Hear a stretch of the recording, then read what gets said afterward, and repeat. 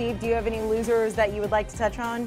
Yeah, unfortunately, you look at the Clemson Tigers, and it's a program that didn't finish with the steam that we're used to seeing them recruit at. This is a program that maybe doesn't finish in the top five because they typically take smaller classes, but when you look at pound for pound, average ranking per commit, Clemson's always in the top three or four or five in that regard. But this close here, they see Daylen Everette end up in Georgia's class, Jihaad Campbell end up in Alabama's class, Keon Sabb end up in Michigan's class and maybe Jaren Kanak end up in Oklahoma's class. Those are all programs that they're competing for to win a national championship, and those are guys that would have helped keep them in that equation.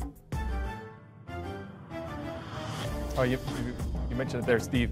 If you move, remove Jared, they'd be number 23 in the rankings right now. Only 12 players, and I said this uh, a few hours ago there is a second signing period, right? We got February. I just don't think Clemson's going to get involved with many of those guys. Tre- Trevor Etienne, who's Travis Etienne's brother, that's a mouthful. He's still in play, but I think Florida's a team to watch there. Billy Napier has been recruiting him, or known the younger Etienne since his days at Louis, uh, Louis, ULL because that's in Louisiana. I'm, I'm all mixed up here. So you know, I don't know how Clemson adds this. They're probably going to have to go to the transfer portal, and Dabo has been so opposed to the transfer portal. That's one of the most fascinating things I think to follow over the next few weeks. All right, so those are your winners and losers. Uh, good days for the teams in orange, including Tennessee and Texas. Uh, we apologize to all our Florida State fans. As a reminder, early signing day, National Signing Day. You can check out everything you need to know from this particular day with our friends over at 24 7 Sports, the latest news. You're going to also find commitments there and those up-rated team rankings as they continue to change by the minute.